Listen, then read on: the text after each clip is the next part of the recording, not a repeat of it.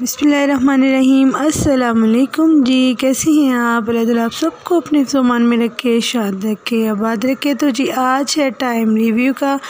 और रिव्यू किसके बारे में? जी, ये जो आपको नज़र आ रहा है, hair oil, onion hair oil, जी, वेलिस का है ये।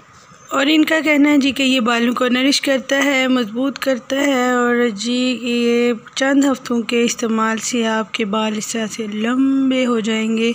जैसे कि इंटरनेट पे, यूट्यूब पे बहुत सारी इसके बारे में वीडियोस बनी हैं कि ये जी बहुत अच्छा है, गंजपन को दूर करता है।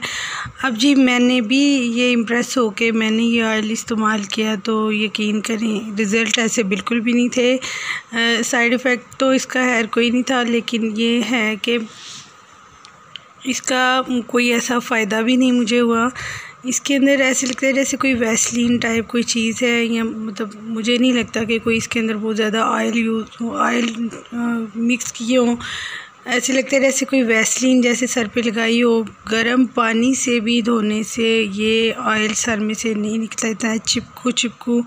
और बात जहाँ तक है कि बाल लंबे करता है तो खैर मेरे तो कोई नहीं लंबे हुए और ना ही जो है वो सॉफ्ट हुए हैं बाल। जब तेल निकलना ही नहीं है सर में से तो ज़ाहिर है वो बाल बैठे भी रहेंगे आपके, वो जो फटा बम्ब है वो भी नहीं लगेंगे तो खैर ये दो तीन वाश के बाद के जाके ये थोड़ा रिमूव होता है सर में से मतलब फिर भी जो है ना, दो तीन वाश करने के बाद भी थोड़ा थोड़ा ये सर के अंदर रहता है मतलब इससे आपकी जल्दी जान नहीं छूटती।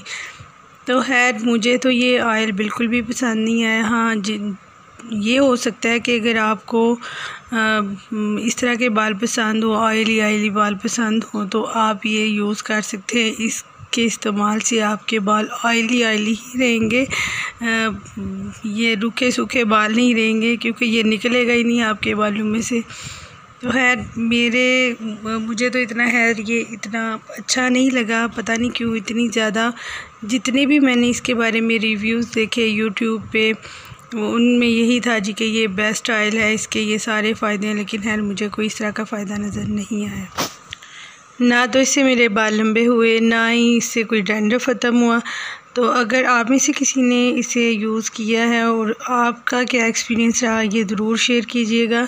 हाँ साइड इफ़ेक्ट वाकई इसके कोई नहीं है, ये बात इनकी हंड्रेड परसेंट सच्ची है कि, के साइड इफ़ेक्ट कोई भी नहीं है इसका। मतलब अगर इसने कोई फ़ायदा नहीं दिया तो नुकसान भी नहीं पहुँचाया तो आप मुझे ज़रूर बताइएगा कि आपका एक्सपीरियंस कैसा रहा। दो में याद रखिएगा इजाज़त दीजिए। अल्लाह हाफिज़।